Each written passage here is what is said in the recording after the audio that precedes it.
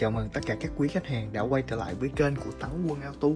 Thì hôm nay Quân sẽ quay một cái clip giao xe. À, Quân bàn giao một chiếc xe Volvo S90L model year 2022 đến với quý khách hàng.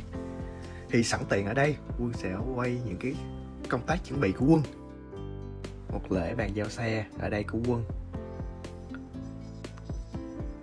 Bao gồm có bánh trái và rượu mình sẽ có hai chìa khóa, một chìa khóa màu đen và một chìa khóa màu cam. Sẵn tiện ở đây, Quân sẽ mở cho mọi người xem một cái túi Volvo.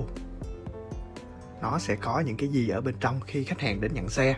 Thì trong phần quà mình sẽ bao gồm một cái nón nè. Tiếp theo là một cái hộp đựng giấy tờ xe hoặc là sổ hướng dẫn, sổ bảo hành, một chiếc áo Volvo chính hãng anh chị có thể là tùy chọn size luôn nhé. Rồi, tiếp theo là sổ bảo hành, bảo dưỡng, tiếng Việt, sổ hướng dẫn tiếng Việt, tiếng Anh. Và chúng ta sẽ có một cái USB nữa. USB mang logo Volvo. Một cái đồ háo chụp ốc xe.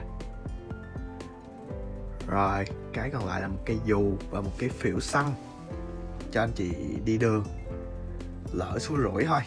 Mình hết xăng thì mình sẽ dùng cái phễu xăng này để nhờ người khác mua xăng đến chỗ mình chế vào. Đây cũng xin phép quân bỏ lại.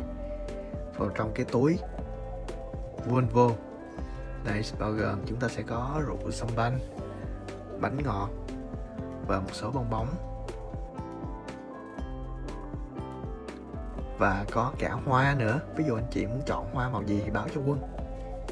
Đây, quân xin quay tổng quát chiếc xe chuẩn bị giao. Sẽ được đánh bóng kỹ càng vệ sinh sạch sẽ. Chiếc S90L này rất là sang trọng đặc biệt là màu đen cũng công nhận. Nó vô cùng sang bên trong dọn sạch sẽ cho anh chị luôn. Đây.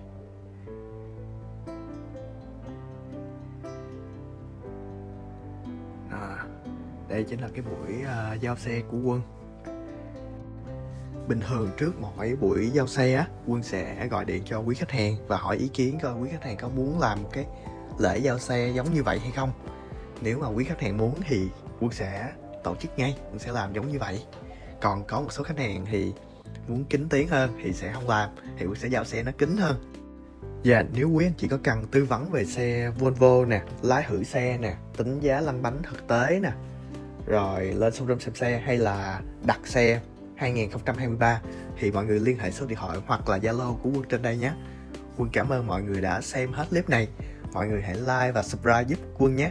Quân xin chào và tạm biệt mọi người à.